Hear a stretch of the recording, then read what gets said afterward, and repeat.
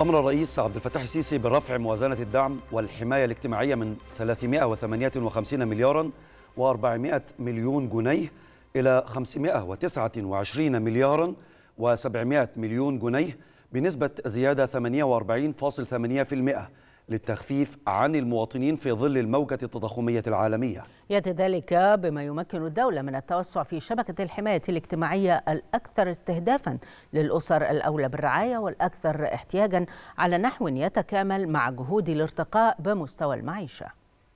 دائما ما ينحاز الرئيس عبد الفتاح السيسي إلى الفئات الأولى بالرعاية والأكثر احتياجا في جميع ربوع الوطن على نحو يتكامل مع جهود الارتقاء بمستوى المعيشة. بتوجيهات رئاسية سيتم رفع موازنة الدعم والحماية الاجتماعية من 358.4 من عشر مليار جنيه إلى 529.7 من عشر مليار جنيه بنسبة زيادة بلغت 48.8 من عشرة في المئة للتخفيف عن المواطنين في ظل الموجة التضخمية العالمية. كذلك سيتم تخصيص 127.7 من عشر مليار جنيه بالموازنة الجديدة لدعم السلع التموينية بمعدل نمو سنوي يبلغ 9.41 من 100% مقارنة ب 90 مليارا للسلع التموينية خلال العام المالي الحالي. إضافة إلى ذلك أمر الرئيس السيسي بتخصيص 119.4 من مليار جنيه لدعم المواد البترولية و6 مليارات جنيه للتأمين الصحي والأدوية. الأدوية بزيادة تصل نسبتها إلى 58.2 من عشرة في المئة عن العام المالي الحالي. وفيما يخص قطاع الإسكان أمر الرئيس بتخصيص 10.2 من عشرة مليار جنيه لدعم الإسكان الاجتماعي بالموازنة الجديدة بمعدل نمو سنوي 31.5% مقارنة ب 7.8